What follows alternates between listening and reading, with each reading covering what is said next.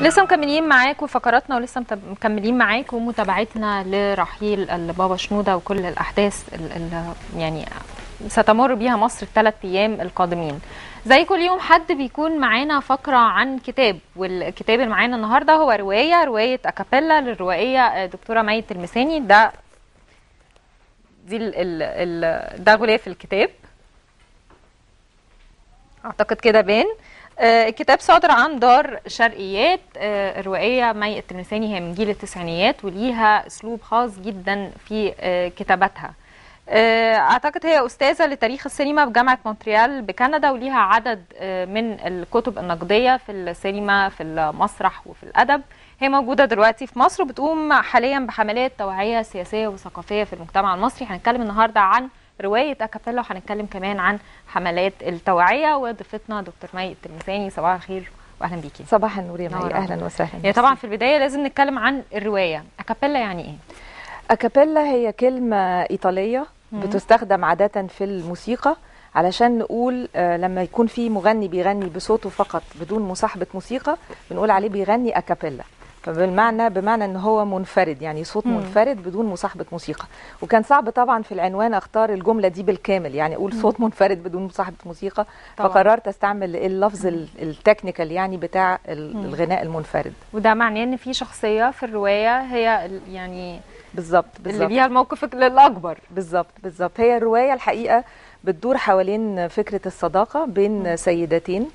آه واحدة منهم بنعرف من بداية الرواية خالص إنها بتموت بس إحنا بنرجع لتاريخها وعلاقتها بصداقتها دي بصديقتها الأخرى آه من خلال وجهة نظر الراويه والراويه في لحظة من اللحظات بت آه، بتعثر على مذكرات أو يوميات آه صديقتها اللي اسمها عايدة. وبالتالي بتقرر إنها تعيد كتابة اليوميات دي وت... وت... وتنقح في بعض الأحيان يعني آه بعض الأحداث اللي حصلت إلى آخره. هي شوية بشوية في أثناء الرواية بتحل محل صديقتها بشكل أو بآخر. ف... فأنا كنت بحاول يعني أتكلم على فكرة الصداقة والجروح الصغيرة اللي ممكن تنشأ من من صداقات يمكن فيها شوية إحباط أو فيها شوية غيرة. طبعا ال- الصديقتين حواليهم كمان أربع شخصيات من الرجال وبتحصل أحداث كتيرة آه، مرتبطة بعلاقة الست شخصيات دول مع بعض. أيوه. الزمان المكان العناصر الأساسية في أي رواية. والله أنا قررت إن أنا في الرواية دي وأنا عندي روايتين قبل كده دنيا زاد وهليوبوليس. آه، دنيا زاد كانت عن أم بتفقد آه، ابنتها لحظة الولادة وهي شبه سيرة ذاتية. وهليوبوليس عن طفلة بتنشأ وتترعرع في حي هليوبوليس اللي هو مصر الجديدة. أيوة. آه وبداية الرواية بنحددها يعني شوية كده بوفاة عبد الناصر سنة آه آه 70 ونهايتها بوفاة السادات سنة 81 فهنا في وضوح كامل في هليوبوليس. آه، أكابيلا قررت إنه مش هحدد أي حاجة. هي بتحصل في مدينة والمدينة دي بتقع على نهر. فاحنا ممكن نتخيل إن هي القاهرة أو نتخيل إن النهر ده هو النيل أو برضو لو ترجمت وهي يعني هتترجم إلى الفرنسية. آه، حتى بفكر إنه أسماء الشخصيات أحولها شوية. يعني عايدة اسمه ممكن يمشي عربي وأجنبي. معروفه عنها. و... آه لكن مثلا كريم إحنا بنفكر إن إحنا نترجم كلمة كريم ويبقى اسم أجنبي. أو شخصية حسام نترجمها ويبقى اسم أجنبي وهكذا. بحيث تصلح إنها تحصل في أي زمان وفي أي مكان ويكون التركيز الرئيسي على معنى الصداقة. وإيه اللي بيحصل بين الأصدقاء وبين بعض؟ آه، من مشاعر وعواطف وإزاي بتتطور وإزاي بتتغير وإزاي ساعات بنحب نحل محل الصديق أو الصديقة في بعض المواقف أو ال أو ال ال الأحداث في حياتنا. آه، فعايزاها تكون مفتوحة شوية على العالم يعني. عايدة هي ال- الصديقة ال- ال- اللي اللي ماتت. واللي ليها مذكرات وال- والأخرى والأخرى ملهاش؟ اسم بقى. مل- ملهاش اسم. آه ملهاش اسم. هي الراويه هي اللي بتقول أنا من بداية الرواية. ومن أول يمكن ثلاث أو أربع صفحات بنعرف انه عايدة ماتت وإن هي كانت أصدق آه، صديقة ليها أقرب صديقة ليها. وبنعرف كمان من الفصل الثاني يمكن آه، إنه في فكرة اليوميات وإن إحنا لقينا اليوميات دي فهنعمل بيها إيه؟ طب هي أقرب فكرة- صديقة ليها المفروض إن هي تكون يعني عارفة حياتها أكتر يعني مش محتاجة إن هي تكون عندها مذكرات و وديتيلز أكتر صح ولا؟ بالظبط بالظبط. فعلشان كده عايدة بتعتبر لغز شوية. لغز لأنه في ليها حيوات مختلفة وفي مستويات مختلفة في حياتها إحنا مش قادرين نوصل لأعماقها. فكرة كمان إنه أي شخصية من الشخصيات لو إحنا فكرنا في فكرة الأدب الكلاسيكي هنلاقي إنه مفاتيح الشخصية إلى حد كبير موجودة والكاتب بيعمل مجهود إنه يشرحها لنا ويحط إيدنا عليها بالظبط وكده. أنا في كتابتي بصفة عامة بحاول أخلي القارئ يقلق شوية وما يبقاش متأكد من الحقيقة. فهنا الراوية يعني المفروض برضو هي البطلة الأخرى في الرواية آه، بتقول معلومات عن عايدة ممكن ما تكونش هي بالمئة بالمئة صحيحة وبنكتشف عن عايدة معلومات أخرى أثناء ال- الرواية ممكن هي دي اللي تنور لنا شوية آه، حياتها إيه لحد ما نوصل لآخر النص وفي بقى بتحل الصديقة محل عايدة بشكل أو بآخر. فأنا هنا برضو بشتغل على فكرة الدبل يعني أو أو كأن واحد واقف قدام مراية فأنت متصورة إنك عارفة نفسك 100% بس أيوة. في. الواقع لا ممكن ما تكونيش عارفة ويكون ال ال الانعكاس بتاعك ده على المراية هو بيعكس حاجة أو معلومة أو حالة أو أو واقع لكن في واقع تاني مش معكوس ومش معروف وهو أعمق وده اللي لازم ندور عليه وهكذا يعني هقول ان إن الرواية ليها فلسفة خاصة مختلفة صح؟ بالظبط. هي أنا بحاول آه، بشكل رقيق كده وبدون ما أقول إن إحنا بنتفلسف كتير يعني لأن في النهاية الرواية تخيل وأنا محتاجة أحط أحداث وكده. آه، عايزة أقول إنه في علاقات الصداقة إحنا دايما بنتصور إن إحنا واقفين قدام مراية. ونتوقع من الصديق إنه يكون أقرب حد لصورتنا اللي إحنا نفسنا نعكسها عن نفسنا. في الواقع إحنا ممكن ما نكونش عارفين نفسنا كويس. وبالتالي الصديق ده ما يكونش برضو متجاوب تماما مع اللي إحنا عارفينه عن نفسنا. وبالتالي المسافة دي اللي هي المسافة بين أي شخص وبين حتى صورته صورته نفسها في المراية هي اللي لازم نقعد نفكر فيها ونشوف إزاي المسافة دي ممكن تتسع أو تضيق. لو إحنا ما عرفناش نفسنا من جوه أحيان كتيرة جدا بيبقى صعب نعرف العالم حوالينا. فهي طبعاً. رحلة البحث دي يعني رحلة البحث دي موجودة طول الرواية. وما ننساش طبعا إنه ده يعني رحلة البحث دي هي ليها إطار اجتماعي كمان. يعني في إطار طبقي؟ آه، الشخصيات دي جاية من اني طبقة؟ معارف معارفها إيه في الحياة؟ في مثلا إشارات ومؤشرات لأنهم بيقروا كتب شكلها إيه بيسمعوا مزيكا شكلها إيه. متصلين بالعالم الخارجي اللي حواليهم بأي طريقة. في شخصية طبيب وفي شخصية كاتب. والشخصية الطبيب والكاتب برضو بيردوا على بعض. في واحد حياته ماشية في اتجاه وفي واحد حياته ماشية في اتجاه آخر. وكل ده بيكون بيشكل مجموعة من الناس. مم. قادرة تتآلف مع بعضها إزاي؟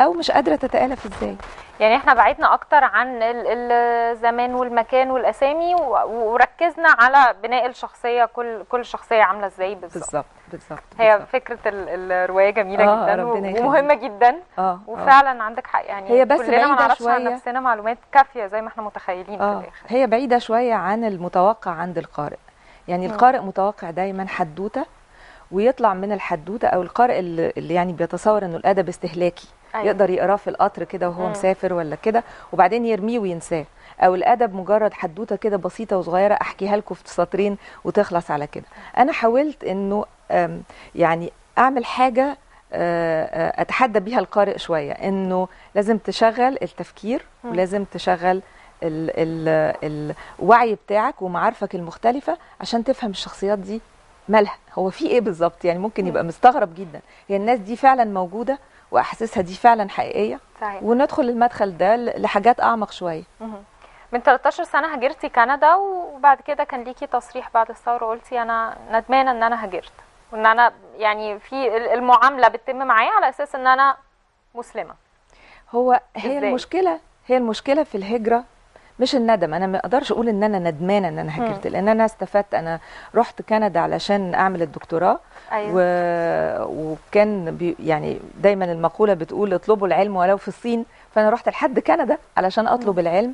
أنا كان هدفي من مشروع السفر ده إني هاخد الدكتوراه وأرجع على مصر. أيوة. بعدين أسرتي قررت إن إحنا هنقعد في كندا وأنا بالتابع بالتبعية قعدت مع أسرتي يعني. أيوه. لكن فضل دايما الخيط اللي بيشدني لمصر أقوى بكتير. يعني طول الوقت بفكر إنه يمكن الأحسن إن أنا أرجع مصر يمكن الأحسن إن أنا أستقر بشكل نهائي في مصر. بس طبعا ما أقدرش أخالف برضو وجهة نظر أسرتي. فأنا بين البلدين طول الوقت. التعامل عامل إزاي؟ هي الحاجة الوحيدة اللي أنا مفتقداها يعني أنا أستاذة جامعة وليا مكانتي في المجتمع الكندي وكل ده. لكن الحاجة اللي بفتقدها فعليا فعليا هي دوري ككاتبة. أنا بكتب باللغة العربية حتى لو الكتب مترجمة إلى لغات أجنبية آه لكن لما بيتبص لي بره على إني كاتبة عربية. ببقى دايما محصورة في الإطار بتاع كلمينا عن الحجاب. أو كلمينا عن المرأة المسلمة أو كلمينا إزاي الراجل بيضرب مراته في مصر وحاجة يعني يعني تصورات العنف والعنصرية. والستيريوتايبس اللي واخدين الصورة. اللي واخدينها تصورات سيئة جدا مم. ومتوقع مني طول الوقت ككاتبة إني هدافع عن المرأة المصرية أو إني هدافع عن آه، فكرة ال- ال- التيارات الإسلامية اللي موجودة وهي بتفكر إزاي وإحنا المفروض نقاومها إزاي فبنبتعد تماما. يعني شوفي إحنا بداية حوارنا النهارده اتكلمنا في الأدب شوية. يعني في بالظبط. الكتاب نفسه في ال... أنا كنت عاوزة أعمل إيه الأسلوب اللي هكتب بيه إيه حاجات كده.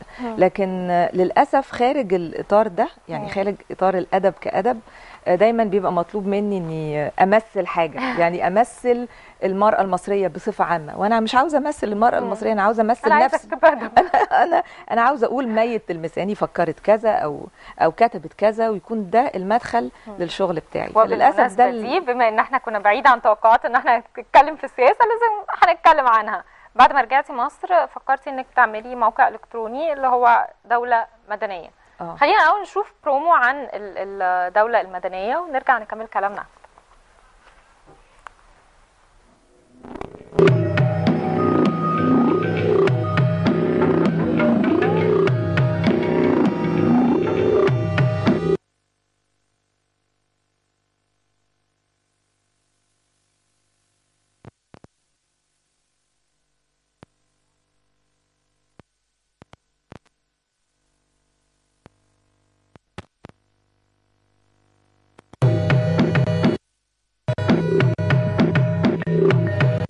أنا ضد تأسيس أحزاب على أساس ديني. طبعا اطلاقا يعني.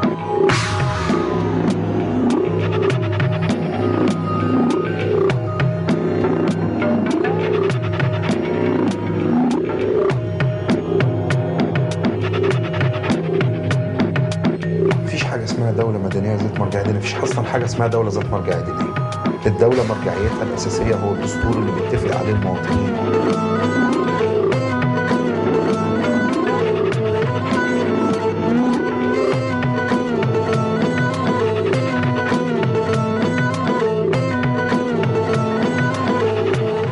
المدنية مش ضد الدين. مش ضد أي دين.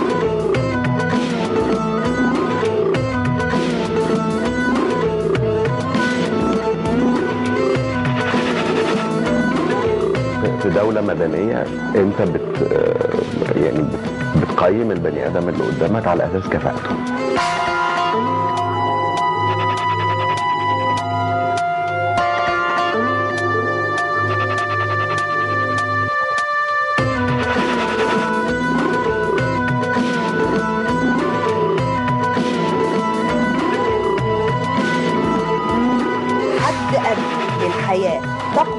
الدولة المدنية لجميع مواطنيها يحفظ لهم الأساس.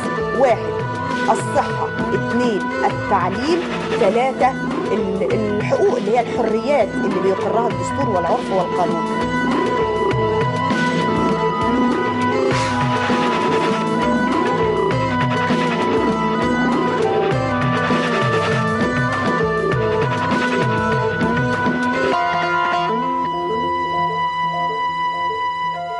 شفنا آه، برومو عن آه، الدولة المدنية وموقع دولة مدنية. ده جزء من حملة التوعية الثقافية والسياسية اللي بتقومي بيها ولا هي دي الموقع حاجة ابتديتي بيها في البداية؟ الموقع ابتدينا نشتغل عليه في أثناء ال 18 يوم يعني بعد بعد حملة بعد موقعة الجمل على طول. آه، كان واضح آه، بشكل أو بآخر من اللحظة دي في تاريخ الثورة المصرية آه، إنه آه، في آه، التيار الإسلامي هيبتدي يشتغل آه، جوه الشارع وهيبتدي يحاول الاستئثار بالثورة وبمنجزات الثورة إلى آخره. فأنا تصورت إنه أفضل طريقة لمقاومة آه، هذا الاتجاه هو إن إحنا نبتدي نفكر الناس من أثناء الثورة نفسها حتى قبل سقوط مبارك آه، بإن إحنا آه، هدفنا وأملنا في مصر إنها تكون دولة مدنية حديثة. آه، فابتديت اتصل بأصدقاء ليا هنا في في مصر آه، يساعدوني على إنشاء الموقع وده حصل فعلا وتم آه، يعني إنشاء الموقع ونشره في مارس 2011 فيعني إحنا يعني بنحتفل أثناء الثورة كنت موجودة في كندا بس كنت بس كنت بتشرفي على آه. الموقع من هناك. بشتغل من هناك. اولا التمويل بتاع الموقع برضو عشان ده سؤال بتسأله دايما التمويل بتاع الموقع آه، 100% من جيبي الشخصي. والهدف كان منه إن إحنا ننتج عدد معين من آه، أفلام الفيديو القصيرة جدا. آه، عبارة عن انترفيوهات مع شخصيات مهمة في المجتمع المصري. إحنا بنشوف بعضهم هنا في الفيديو. آه، وننشر ال- ال- ال- الصورة دي على الموقع وبعدين نحاول نستخدمها أيضا في التوعية المدنية سواء في الجامعات أو في المدارس إلى آخره. بس عشان نؤكد على معنى الدولة المدنية الحديثة هي إيه وإحنا طالبين إيه آه، أو أملنا إيه في مصر القادمة. صحيح. أقول لك إن ساعة ال- الثورة أو أول 18 يوم فعلا في من يعني هقول بقى من ال- الحياة الجديدة من المستقبل الجديد لمصر كان صعب قوي للناس تتنبأ. إيه آه. اللي هيحصل في الفترة الجاية؟ يعني كان ال- الضغط أكتر على آه، إمتى ال- الرئيس ال- السابق هيرحل إيه اللي هيحصل؟ يعني ما كانش لسه في فكرة الدولة دي هتصبح دولة مدنية أو دولة دينية. آه. فالتنبؤات دي ممكن أقول إن هي بدري شوية عن وقت طبعا بدري بس المثقف الحقيقي هو اللي يقدر يتنبأ شوية بما سيحدث من قراءة الأحداث. آه والأحداث كان كلها بتشير لأن في اتفاق مسبق آه تم أثناء وجود مبارك. لحصول آه، آه، جماعة زي جماعة الإخوان المسلمين مثلا على ال- آه، ال- الفرصة اللي هي من حقهم بالمناسبة. اللي أنا ب- دايما بأكد على إنها من حق جماعة المسلمين وده كتبته لما كنت بكتب في روزا اليوسف آه، قبل الثورة. كنت بقول من حق جماعة الإخوان المسلمين أن أيوة. يكون لها أحزاب سياسية تمثلها. لأنها جماعة موجودة من حاجة و80 سنة من حقهم التواجد السياسي.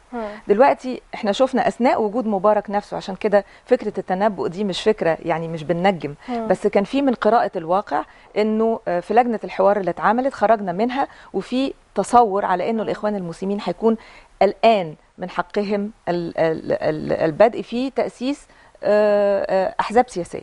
وأنا تصورت في لحظتها إنه الاتجاه العام هيكون فيما بعد. لو نجحت الثورة وتنحى مبارك فعلا هيكون في اتجاه إنه التيار الإسلامي اللي هو. متواجد على آه، في الشارع هيكون عنده رغبة في إنه يؤكد آه، هوية الدولة الإسلامية. فاول خطوة عملناها في اتجاه آه، آه، بناء الموقع ده دولة مدنية مش بس إن إحنا نعرف بدولة مدنية لكن عملنا آه، بيان للمثقفين. قلنا فيه إن إحنا بنناشد الجميع إنه يفكر مجرد التفكير.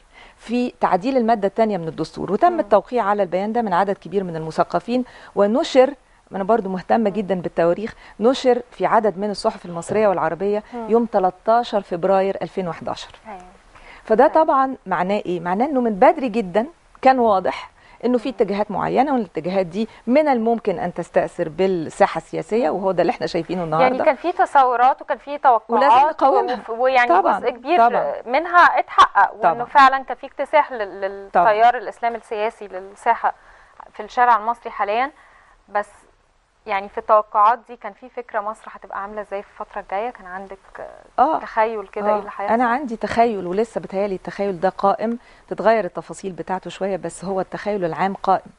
دلوقتي إحنا كنا في مرحلة قمع شديد وبنحاول إن إحنا نخرج من حالة القمع دي. مم. آه، الخروج من حالة القمع هو بإتاحة الحريات. الحريات بشكل مطلق. آه، اللي حاصل دلوقتي إنه ال- ال- القوى السياسية الموجودة والتي تستأثر بالسلطة. لا تسمح بهذه الحريات سواء كانت القوه دي قوه عسكرية أو قوه دينية. وعشان كده القوى العسكرية والقوى الدينية هي قوى ضد مدنية الدولة الحديثة. وإحنا بنحاول نقول إنه أي تحالف أو تواطؤ بين هذه القوى وبعضها هو تحالف ضد الدولة المدنية الحديثة. اللي إحنا عاوزين نوعيه نفهمه للناس زي ما البرومو بيقول هو إنه ده مش ضد الأديان بالعكس ده يكفل الأديان. وده مش ضد المؤسسة العسكرية بالعكس ده يحمي المؤسسة العسكرية. لكن التصور إيه؟ التصور إنه مصر في المرحلة القادمة آه، وبوجود هذا البرلمان اللي بيحاول أيضا إنه يستأثر باللجنة التأسيسية للدستور إلى آخره آه، في وجود هذا التيار الإسلامي المتشدد والمنتشر والذي يحظى بعدد من ال... يعني بحجم من التأييد في الشارع ما نقدرش ننكر ده. آه، إحنا رايحين في اتجاه آه، آه، فشل للمطالب الأساسية للثورة اللي هي اولا حرية وثانيا عدالة وكرامة عدالة اجتماعية وكرامة إنسانية وثالثا عيش. إحنا ما شفناش العيش لحد النهارده ما شفناش حريات بالعكس بنشوف حد الحرابة وبنشوف قضايا حزبه ضد فنانين وبنشوف كوارث كثيرة جدا.